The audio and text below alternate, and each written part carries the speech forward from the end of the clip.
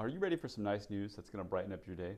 This one's coming all the way from China. Now, I gotta warn you, do not tempt what I'm about to tell you about at home or even in the wild. So today's good news revolves around pandas. They're one of China's biggest national treasures. They're known for being big herbivores who eat a ton of food all the time. But did you know sometimes they have trouble eating that food? And in a recent viral video, there's actually a panda seen choking on a carrot he's eating in his cage. And due to some quick thinking of the zookeepers there, this China zoo, someone was able to actually successfully give the bear the Heimlich maneuver and save his life and stop him from choking. So you never know when you might need to use the Heimlich maneuver, be it on somebody else or a bear who's choking on his food. I hope this news brightened your day and maybe inspired you to go learn the Heimlich maneuver because you never know when you might need it to save a friend or even a panda bear.